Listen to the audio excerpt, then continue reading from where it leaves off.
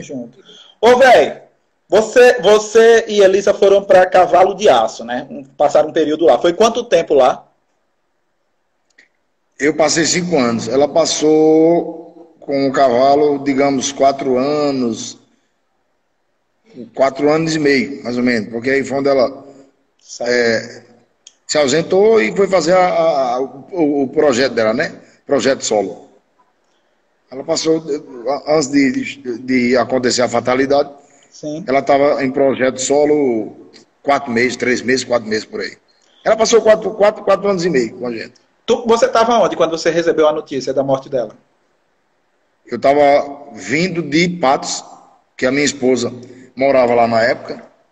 Eu estava vindo com umas músicas lá para poder ensaiar um cavalo de aço. Eu estava chegando em Macaíba, que tem a Polícia Federal, sabe? Onde tem a Polícia Federal lá. Aí, de repente o cara ligou para mim, Beto Caju, que é um parceirão da gente também, é Sim. empresário lá de, de Sergipe. Ligou para mim, eu sem saber, não, eu no volante sozinho, né? sozinho não, com Deus. Ó, já, Arantes está aqui. Arantes está aqui. Beijo, Arantes. tá aí, é? Ô, cara, tá lavando roupa até hoje.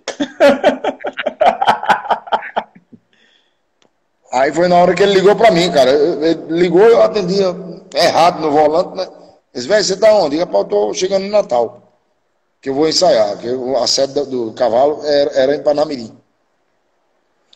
Aí disse, tá sabendo alguma coisa de Elisa? Não, tô sabendo não. Aí disse, tava indo o quê? Eu estou dirigindo. Ele disse, para o carro agora. Deixa eu procurar saber aqui se realmente é, é verdade, eu ligo para tu. Aí eu disse, parei o carro. Encostei, né? Dei sinal, encostei no acostamento. Em três minutos depois ele ligou, bicho, é verdade, acabei de, confirmar, de confirmar aqui que Elisa teve um acidente aqui, faleceu ela e o namorado dela, o esposo, o namorado dela que era o baterista. Sim. Oxê, pegou todo mundo, meu amigo, sem saber de nada. Apesar que eu tive uma história com ela de 10 anos, mas quem é que quer? Pois é. Azar ninguém. Ninguém quer, não. Você sente, queira ou não, é claro. ser humano, né? Claro. Aí, aí ele foi mandou uns vídeos para a câmera em si, na BR, lá no, na principal gravou lá as imagens lá na, na hora da batida. Eu digo, ixi, pelo amor de Deus. Aí, quando eu cheguei no escritório do cavalo, até o cachorro estava chorando. Eu disse, galera, foi todo mundo os prantos.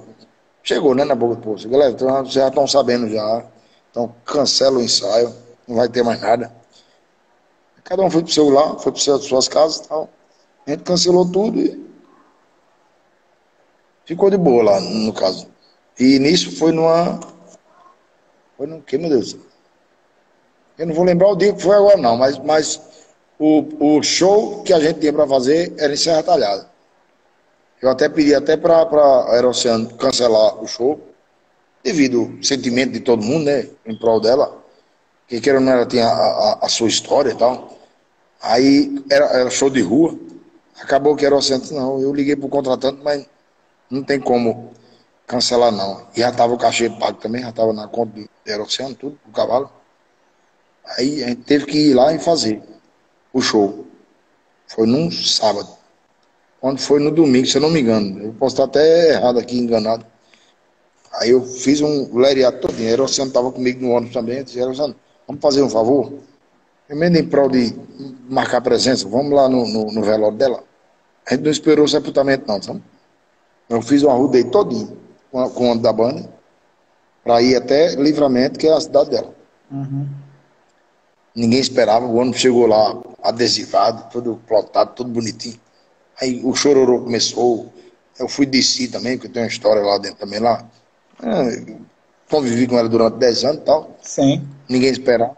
Aí eu passei umas duas horas lá com o pessoal, dando assistência de alguma forma, e depois a gente veio embora e eles sepultaram ela depois. Mas ela passou, além dos 10 anos no Cavaleiro, com mais 4 anos e meio, para 14 anos e meio. E montou a, a sua história e está com Deus agora, tá. guardada. Tá, é verdade. Você, vocês terminaram bem, assim, vocês se falavam depois que vocês terminaram, tinham um contato assim de, pelo menos, amizade ou contato. Ficou uma amizade na época?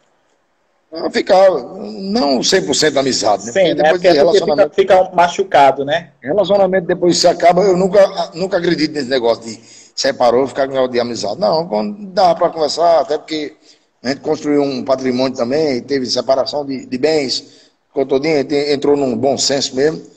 E ficou boa, mas evitava. Eu, eu mesmo não sou muito de. Até porque ela estava com outra pessoa já e você já estava também com a Juliana. Ah, e, a minha, e a minha vida eu segui também, do mesmo jeito, da mesma forma. Nada contra. Né? A vida segue. Claro, com Entendeu? certeza. Ô, velho, deixa eu te falar.